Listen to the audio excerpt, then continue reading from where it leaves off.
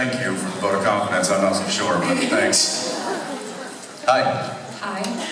I wanted to ask you, what are your favorite aspects of friendship you and Cas had? That Dean and Cas have? Yeah, especially in season 9. They didn't have much of a friendship in season nine, right? Yeah. I mean, there wasn't a whole, there wasn't a whole lot of Dean and Cas storyline in season nine.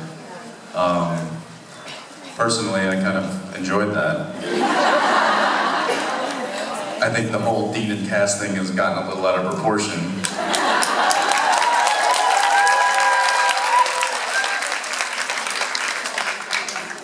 Some of you know what I mean. Um, so I, I, you know, personally, Misha and I were a, a little glad that it, it, it you know,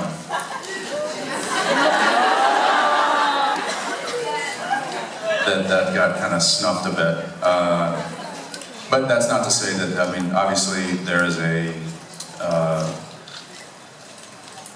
I think it's a kindred spirit, I think, with, with I think Cas finds um, identity with Dean.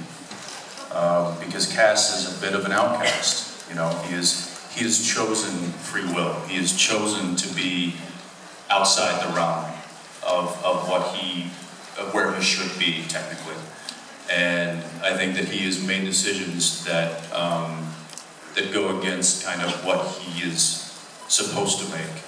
And Dean does that a lot too. Dean is a he's a bit of a, a, a rebel and a bit of a um, a chauvinist jerk, but I don't think I don't know that, that Cas uh, identifies with that. But I think that there is uh, there is a, a, a part of, of Dean's life and the decision making and the way that he handles uh, you know the, the whole the whole scenario of, of heaven and earth and, and hell and, and the apocalypse and purgatory and all of these things. He has a very he has a very clear uh, kind of conscience about it. It's like there is right, there is wrong, there is black, there is white. It's, it's, it's very clear a lot of times to Dean. I mean, obviously things can, can muddle that, but for the most part, I think that that's what Cas can, can possibly identify with, and, and it helps him uh, to, to make the decisions that he makes. So I think that I think the kindred spirit is, is the relationship that they, they, that they have.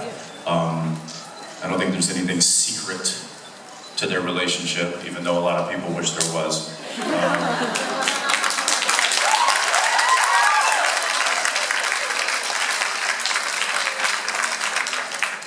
and, and I certainly know that Misha and I don't play that, so.